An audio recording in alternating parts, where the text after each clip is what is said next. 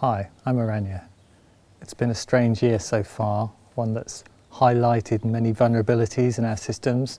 It's got a lot of us growing more food at home, and it's also increased the demand for permaculture courses, which is ironic because we can't teach any at the moment.